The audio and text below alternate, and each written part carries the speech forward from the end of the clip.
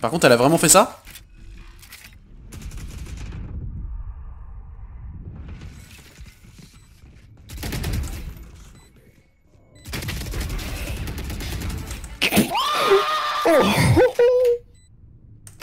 NEI